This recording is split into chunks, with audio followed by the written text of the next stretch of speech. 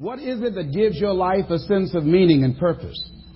Because once you find that, it puts you in your power place. See, if you know what your life work is, I encourage you to start working on it. If you can't do it all at one time, do just a little bit of it. And if you don't know what it is that you showed up to do, if you don't know why you're here, I encourage you to find out what your purpose is here. What is the meaning of your life? What will be different? Have you ever asked yourself that question? I've done that. I, I remember coming from a friend of mine's funeral and I was reflecting on how much time I had left. And I went for a walk in a park thinking about this guy whose life was so promising. And I mean, he wasn't an old guy. He was quite young, in fact. And I thought about all of the things that he said he was going to do, and he never got a chance to do those things. And I started thinking about my own life and how much time I had left to do the things that I would like to do. And at that time, I wasn't sure what my life purpose was, what my life's work was. I wasn't sure about it at that time. And I thought about it quite a lot. I had some idea, but I, I wasn't convinced. That I don't think I felt worthy. I didn't believe that it could be me to do this kind of work that I'm doing right now.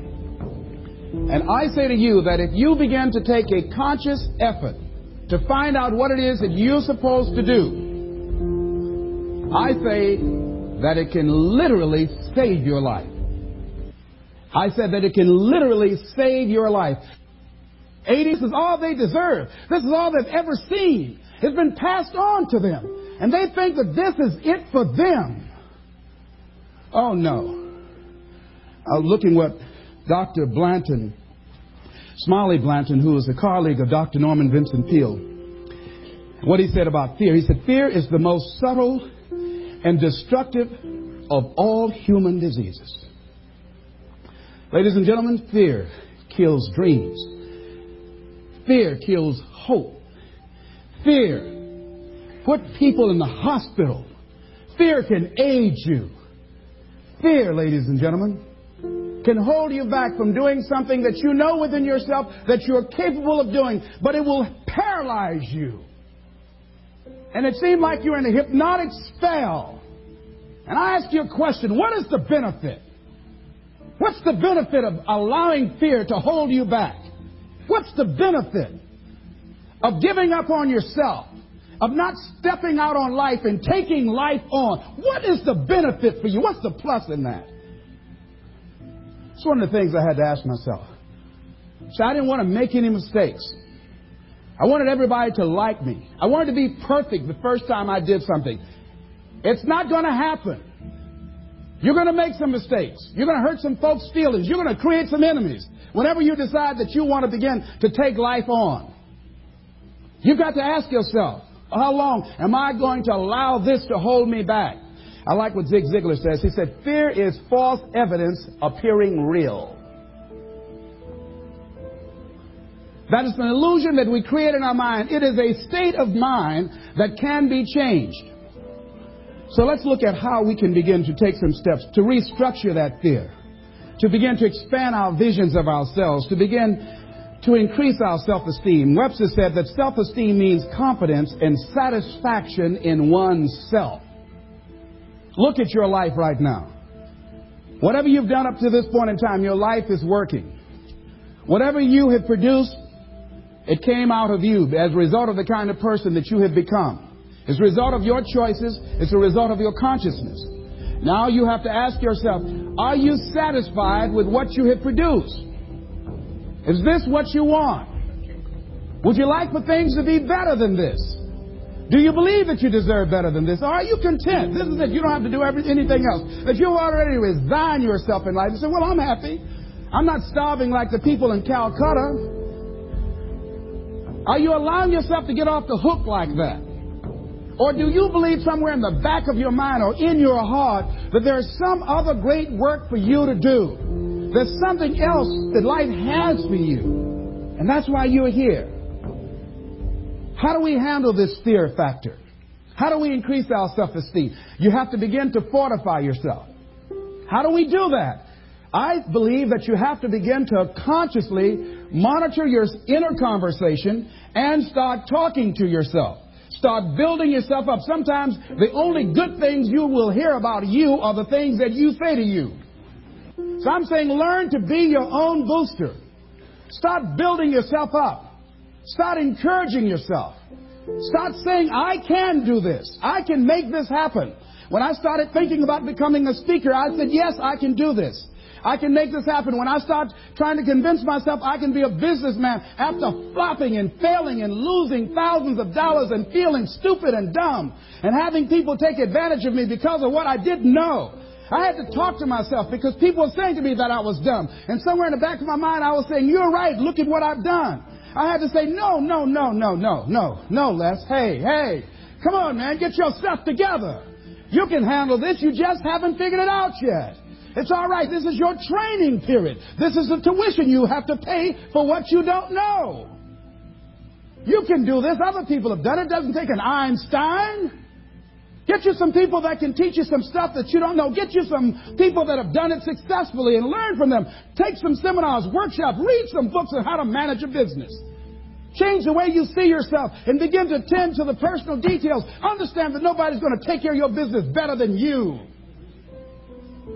And when I start changing that kind of mindset of beating myself up because of my mistakes, and start looking at the possibility of my doing better, of my making the adjustment that would enable me to do what I want to do successfully, things begin to change. And I say, stop beating up on yourself. You do do it. I know you do it. I've done it. It's a natural inclination for us to put ourselves down. See, we are born negative, I think, in a negative consciousness because we live in a negative world. Here's some other things, ladies and gentlemen.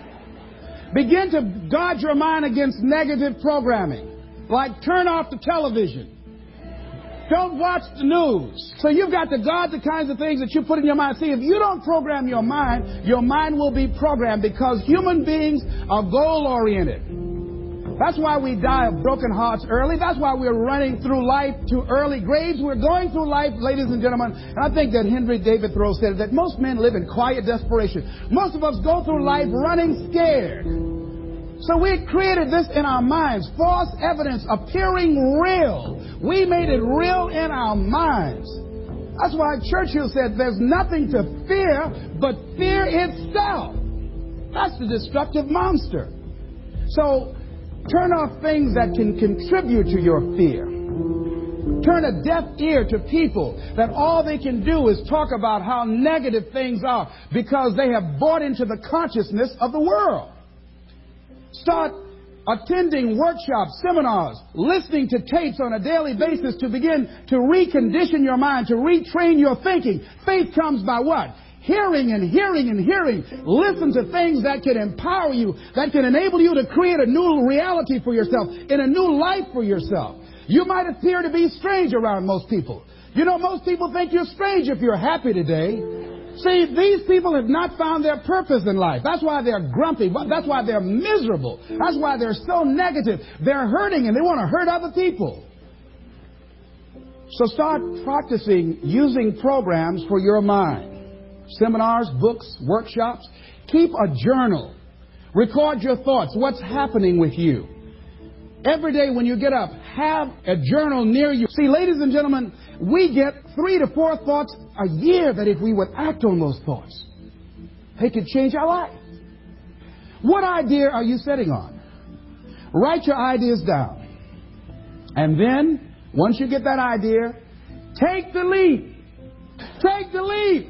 It's out here in the universe. If you don't take the plunge, I guarantee you, somebody else will. Take the plunge. Go into action. And ladies and gentlemen, you will be surprised at how things will come together. You'll be surprised. Now, you're going to have some difficult challenges. I can tell you that now. Be aware of that. Things are not going to work out exactly right. For a time, they will, sometimes. And that's when life is just playing a game with you want you to feel good and relax. But ladies and gentlemen, go into action with your dream. And don't avoid where the fights are. Get in the midst of the fight. Get knocked down so you can learn how to fight so you can hold your position. See, most people don't get out in the arena of life because they don't want to fight. Most people don't get out there because they don't want to get knocked down. They don't want to be dropped to their knees. But see, you're going to be dropped whether you're on the field or whether or not you're sitting on the sidelines. You're going to be dropped. So at least get dropped for something. See, that's how most people are spectators in life. You don't want to be a spectator. You want to get out in the field where the action is. And you will be amazed. After the struggle, there will be a calm period and things will begin to click for you.